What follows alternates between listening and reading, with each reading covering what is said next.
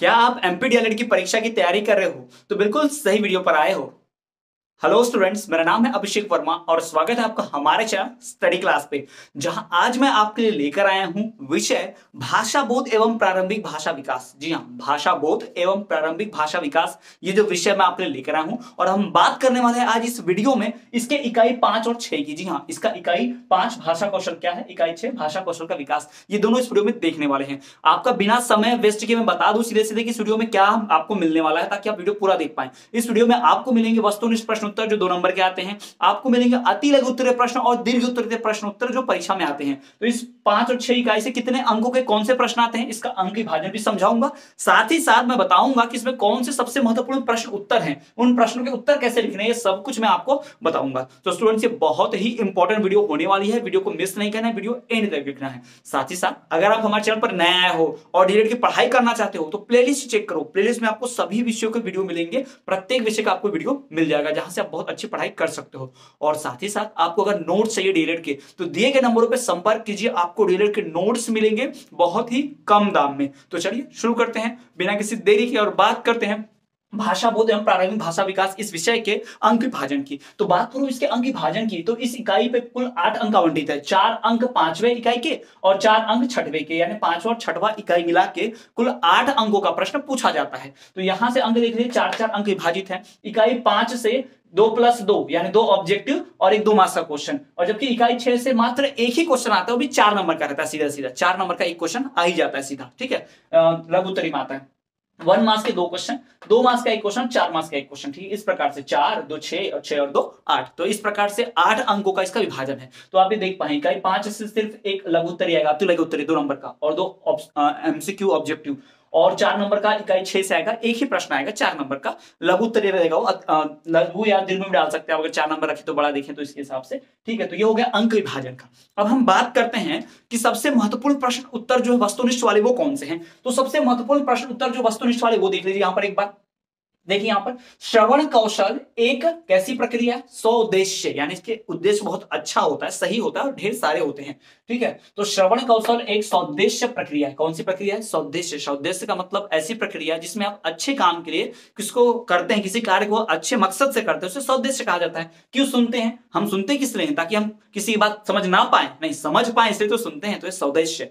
तो सौदेश्य प्रक्रिया, श्रवण कौशल एक सौदेश्य प्रक्रिया है। दूसरा देखिए श्रवण कौशल में कितनी शक्तियाँ समाहित होती हैं? भाई, श्रवण कौशल में एक ही शक्ति है ना? सुनने की शक्ति। मैं बोलूँगा और आप सुनेंगे तो एक ही शक्ति है। वो कौन सी है? सुनने की शक्ति, एक ही शक्ति समाहित होती है। श्रवण कौशल में कितनी शक्तियाँ समाहित होती हैं? एक। याद रखिएगा अगला, भाषा की सबसे छोटी इकाई क्या है? तो भाई, भाषा की सबसे छोटी इकाई जो है, वो है ध्वनि, स्वनिम जिसे कहते हैं, ध्वनि, ठीक है? तो भाषा की सबसे छोटी इकाई है ध्वनि, जिसे स्वनिम कहा जाता है। इसे स्वनिम भी कहते हैं, याद रखिएगा। या स्वनि जो है, किस चीज़ की इकाई है? भाषा की सबसे छोटी इकाई है, ऐसा भी प्रश्न पूछ देगा आपको ध्यान रखना। अगला, हिंदी में व्यंजन वर्णों की संख्या कितनी होती है? व्यंजन वर्ण भाई, तैतीस, बहुत आसान है, बोल के भी बचपन से पढ़ते आ रहे हैं।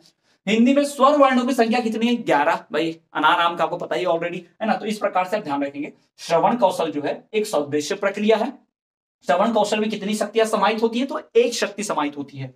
तीसरा, भाषा की सबसे छोटी इकाई क्या है? ध्वनि, जिसे स्वनिम कहा जाता है। फिर, हिंदी में व्यंजन वर्णों की संख्या कितनी है? तो हिंदी में व्यंजन वर्णों की संख्या तैतीस थर्टी थ्री है। उसके पश्चात, हिंदी में स्वर्ण वर्णों की संख्या कितनी है? तो हिंदी में स्वर्ण वर्णों की संख्या ग्यारह है, कुल मिला के ग्यारह है। ठीक? उसके बाद पठन का अर्थ है सस्वर और मौन वाचन पठन मतलब पढ़ने का अर्थ क्या होता है? सस्वर, यानी बोल के पढ़ना। जैसे कि मैंने पढ़ता हूँ, श्रवण कौशन एक सौदे से प्रक्रिया, पढ़ा, मैंने बोल के। अब मन में पढ़ लू? मन में कैसे आपको सुनाई जाएगा? तो मन में बोल रहा हूँ मैं ना। तो मन मतलब भाई मौन वाचन। तो वाचन जो है, पढ़ना जो है, दो प्रकार का होता है। एक पठन, जिसे बोल के बोलते हैं तो स्वस्वर वाचन। वाचना मतलब पढ़ना, वचन मतलब पढ़ना तो स्वस्वर वाचन, और दूसरा होगा भाई मौन वाचन। चुप रहकर शांत में मन में पढ़ने से लाइब्रेरी में लोग बैठ के कैसा पढ़ते हैं? लाइब्रेरी में चिल्ला के थोड़ी पढ़ते हैं, एक लड़का था, वो जाता था। ऐसे थोड़ी तो छोटे बच्चों का काम है, बचपन में सिखाते हैं, है ना? तो ये होगा भाई। तो यहाँ पर आपको जो छह दिख रहे ना छह एमसीक्यू यहीं से भाई ऑब्जेक्टिव यहाँ से बहुविकल्प पूछेगा लिख कर ले लीजिए हंड्रेड परसेंट गारंटी यहीं से आपके दो ऑब्जेक्टिव आने वाले हैं गारंटी के साथ। और इनका इस्तेमाल करके आप बड़े क्वेश्चंस को, अति लघुत्तरी को और चार नंबर और दीर्घ उत्तरी भी सॉल्व कर सकते हैं। तो ये मत सोचिए कि सिर्फ़ दो नंबर दिलाकर जाएगा भाई, ये बहुत इंपॉर्टेंट है, ठीक है? तो पहला तो भाई, श्रवण कौशल जो है एक सौदेश्य प्रक्रिया है। दूसरा, श्रवण कौशल में कितनी शक्तियाँ समाहित होती है? तो भाई, एक शक्ति समाहित होती है। भाषा की सबसे छोटी इकाई ध्वनि, स्वनिम है। फिर हिंदी में व्यंजन वर्णों की संख्या तैतीस, स्वर वर्णों की संख्या ग्यारह, और पठन का अर्थ है सस्वर और मौन वाचन ठीक है? तो ये तो मैंने आपको बता दिया एमसीक्यूज ठीक है? अब हम बढ़ेंगे महत्वपूर्ण प्रश्न जो उत्तर, है ना? बहुत सारे, जो दीर्घ उत्तरी में आ सकते हैं, चार नंबर या फिर दो नंबर का पूछ सकता है तो इसको आपको ध्यान रखना है। आप वीडियो के एंड तक बने रहिए और देखिए कि ये प्रश्न के उत्तर कैसे लिखना मैं समझाता हूँ, आपको सिर्फ़ ये एक वीडियो देखकर जो है ना, पूरा का पूरा याद हो जाएगा, ठीक है? चलिए देखते हैं।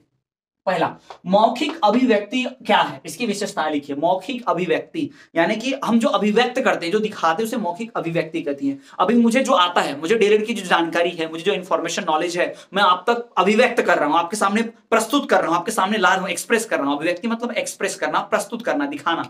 तो मैं आपके सामने जो ज्ञान है डीएलएड का आपके सामने दे रहा हूँ तो मैं अभिव्यक्त कर रहा हूँ। कैसे कैसे व्यक्त कर रहा हूँ? बोलकर, है ना? लिख कर आपको सुनाकर, समझाकर। जी हाँ। तो ये जो मैं है, मैं अभिव्यक्ति जो करता हूँ, ये मौखिक अभिव्यक्ति। मौखिक मतलब भाई ओरल पता ही होगा आपको ओरली बोल कर करना। अगर मैं लिखित अभिव्यक्ति की बात करता तो ये मैंने जो लिखा है ना, ये लिखित अभिव्यक्ति है। मैं जो बोल रहा हूँ आपको, वो मौखिक अभिव्यक्ति है, ठीक है? तो लिखित अभिव्यक्ति क्या होती है? सुन लीजिए इसकी परिभाषा कैसे देते हैं। जब ध्वनि एवं स्वरों की सहायता से अपने विचारों एवं भावनाओं को मौखिक रूप से दूसरों के सामने प्रकट करना, बोलकर दूसरों के सामने प्रकट करना, इसे कहते हैं मौखिक अभिव्यक्ति। भाई, मौखिक अभिव्यक्ति की विशेषताएँ होती हैं। मौखिक अभिव्यक्ति की विशेषताएँ देख लीजिए। स्वाभाविकता, ये स्वाभाविक चीज़ है नेचुरल आता है, ऐसा नहीं। अगर आपको कोई चीज़ है, आपके मन में कुछ विचार हैं तो आप ज़रूरी नहीं है कि आप उसको किसी के सामने लेके कर इशारों से समझाओ। उसे सीधा बोल दो सीधा डायरेक्टली तो ये तो एकदम स्वाभाविक चीज़ है ना, स्वाभाविकता। दूसरा, शुद्धता, एकदम प्योर शुद्ध होता है। भाई, भाषा जो शुद्ध होनी चाहिए, बोलने वाली।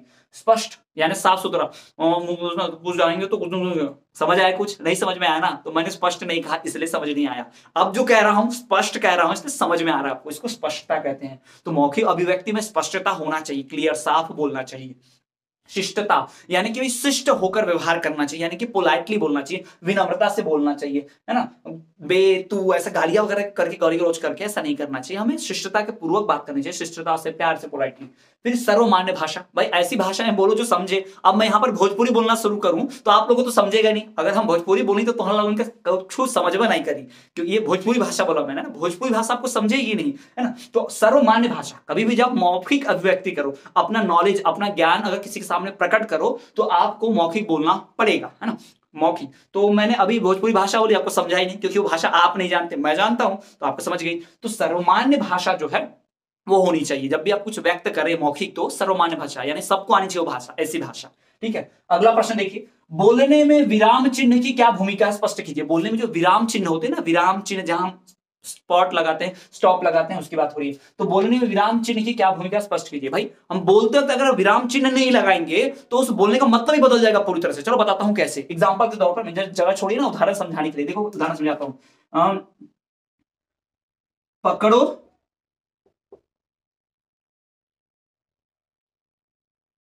मत जाने दो। ठीक है, ये आपके सामने एक वाक्य है। बहुत ध्यान से देखो, सभी लोग सुनो तो। बहुत ध्यान से देखो। पकड़ो। मत जाने दो, पकड़ो मत। अगर मैं यहाँ पर विराम चिन्ह लगा दूँ इसका अर्थ क्या हुआ? पकड़ो मत, जाने दो, है ना? मतलब उसको पकड़ो मत, कोई भाग रहा है, उसको पकड़ो मत, जाने दो। अब ये यहाँ पर विराम चिन्ह लगाया। अब इसका अर्थ क्या हुआ? पकड़ो मत, जाने दो। ठीक है? अब ये विराम चिन्ह यहाँ पर लगाता हूँ मैं, देखो।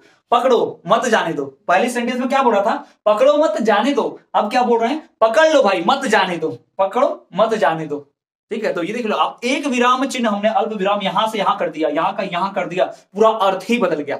तो इस उदाहरण से आप समझ पाए ना कि कैसे भाई विराम चिन्ह का महत्व होता है तो स्पष्ट कर रहा हूँ आपके सामने, ठीक है? आप भी कैसे लिखेंगे? परीक्षा बिल्कुल इसी तरह लिखेंगे, और इसके चांसेस बहुत आ सकता है। पहले भी पूर्व डीएल की परीक्षा में पूछा गया था। तो विराम चिन्ह जो होते हैं, वाक्यों में, शब्दों के बीच में, वाक्यों में लगाने बहुत आवश्यक होते हैं। उनसे शब्दों का, वाक्यों का अर्थ जो है स्पष्ट होता है, और अर्थ बदल जाता है कई बार विराम चिन्ह हटाने से या विराम चिन्ह लगा देने से उदाहरण के तौर पर मैंने दिखाया आपको, अगर मैंने यहाँ पर लिखा, विराम चिन्ह यहाँ पर लगाया तो पकड़ो मत, यानी मत पकड़ो, उसको जाने दो, ऐसा कह रहे हैं। लेकिन अगर मैं विराम चिन्ह को यहाँ शिफ्ट कर दूँ तो बोलेंगे, पकड़ लो, मत जाने दो, यानी पकड़ लो, जाने मत दो, उल्टा हो गया, सिर्फ़ एक अल्प विराम एक जगह से उठा के दूसरी जगह डाला तो पूरा अर्थ ही बदल गया। तो ये है भाई, कि विराम चिन्ह की क्या भूमिका होती है, आप जान गए। अगला देखिए, बाल साहित्य क्या होती है?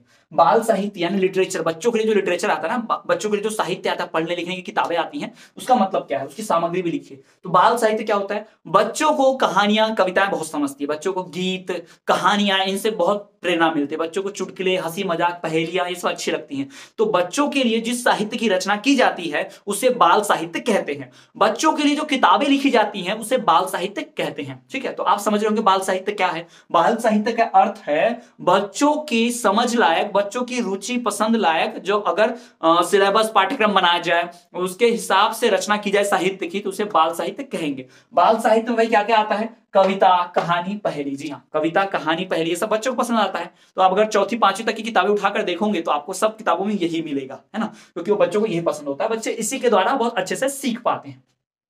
अगला देखिए सस्वर वाचन और मौन वाचन में अंतर भाई। सस्वर वाचन और मौन वाचन सस्वर वाचन मतलब बोल के पढ़ना और मौन वाचन मतलब भाई शांत रहकर पढ़ना, ठीक है? तो सस्वर वाचन देखिए भाई, बोलकर पढ़ना। मैं बोलकर पढ़ रहा हूँ तो इससे आपको आवाज़ हो रही है, ऊर्जा खर्च हो रही है। मौन वाचन में आपको पता भी नहीं चलेगा, ऊर्जा भी खर्च नहीं होगी। मन के मन में बोल लूँगा मैं। दूसरा सस्वर वाचन में गलती पता चल जाती है। मैं अगर गलत पढ़ूँगा तो आप नोटिस कर लेंगे हाँ सर ने गलत पढ़ा। लेकिन मन में मैं अगर पढ़ने लगूँगा उसे चीज़ तो आपको पता ही नहीं चलेगा मैं मन में क्या पढ़ रहा हूँ। आप मौन वाचन में गलती नहीं पकड़ पाएँगे, है ना? तो ये सौ और वाचन और मौन वाचन के बीच अंतर है। और बहुत चांसेस है नाइनटी परसेंट चांस है कि ये सवाल पूछेगा। आने वाली डीएड की परीक्षा में गारंटी है। नाइनटी नाइन परसेंट मुझे लग रहा है। नाइनटी से भी ज़्यादा नाइनटी नाइन परसेंट कह सकता हूँ कि हाँ इससे जुड़ा हुआ सवाल तो ज़रूर आएगा। अब यही ना पूछ दे अंतर लेकिन हो सकता है अलग से सौ सौ पूछ दे या अलग से मौन वाचन पूछ दे, ठीक है? इससे जुड़ा हुआ सवाल तो आना गारंटेड है, इस बात को आप जान लीजिए। तो स्टूडेंट्स ये हो गए सारे सबसे महत्वपूर्ण दस प्रश्न उत्तर।